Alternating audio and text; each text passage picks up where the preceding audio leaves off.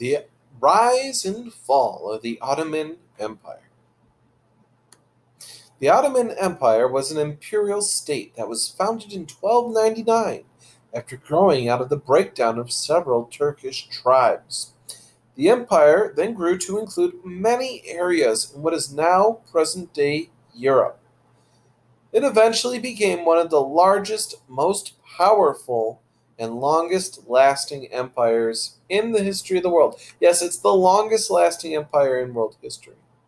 At its peak, the Ottoman Empire included the areas of Turkey, Egypt, Greece, Bulgaria, Romania, Macedonia, Hungary, Israel, Jordan, Lebanon, Syria, and parts of the Arabian Peninsula and North Africa. It was massive. It had a maximum area of 7.6 million square miles in 1595. The Ottoman Empire began to decline in the 18th century, but a portion of its land became what is now Turkey. The Ottoman Empire began in the late 1200s during the breakup of the Seljuk Turkish Empire. After that empire broke up, the Ottoman Turks began to take control of the other states belonging to the former empire of the Turks. And by the late 1400s, all other Turkish dynasties were controlled by the Ottomans, who were themselves a Turkish tribe. In the early days of the Ottoman Empire, the main goal of its leaders was expansion. The earliest phases of Ottoman expansion occurred under Osman I. These the Ottoman Empire's earliest capitals fell in 1326. In the late 1300s, several important victories gained more land for the Ottomans and Europe began to prepare for Ottoman expansion. After some military defeats in the early 1400s, the Ottomans regained their power under Muhammad I in 1453. They captured Constantinople under Mehmed II. The Ottoman Empire then entered its height in what is known as the period of great expansion, during which time the empire came to include the lands of over 10 different European and Middle Eastern states. It is believed that the Ottoman Empire was able to grow so rapidly because other countries were weak and unorganized.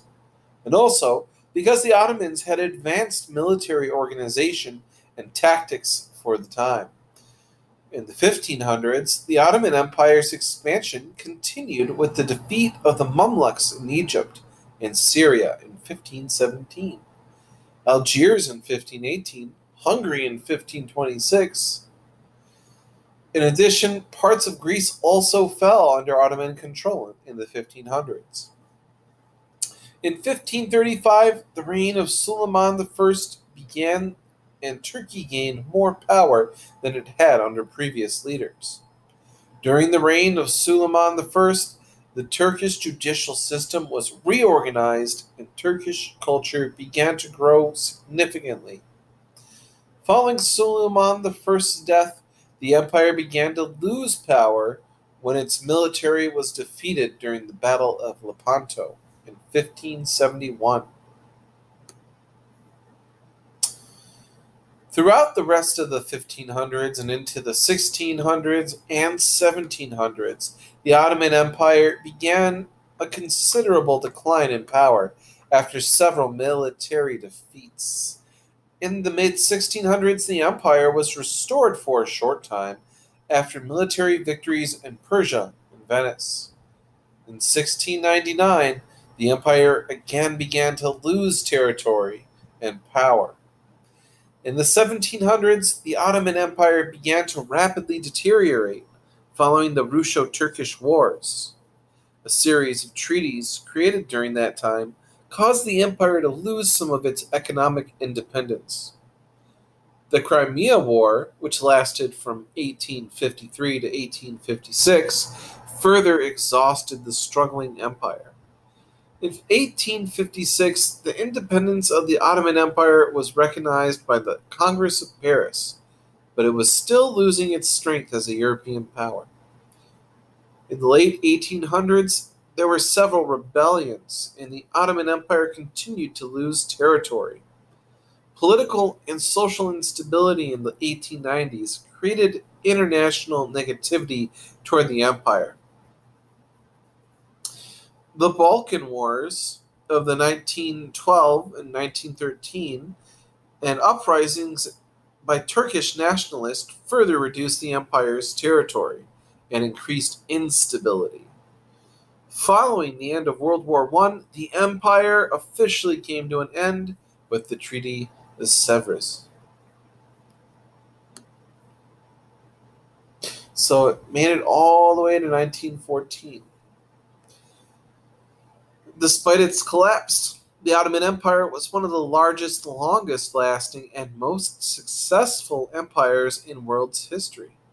There are many reasons as to why the empire was as successful as it was, but some of them include its very strong and organized military and its centralized political structure.